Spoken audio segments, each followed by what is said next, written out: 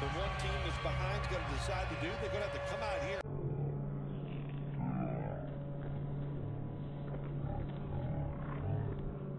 Pretty evident.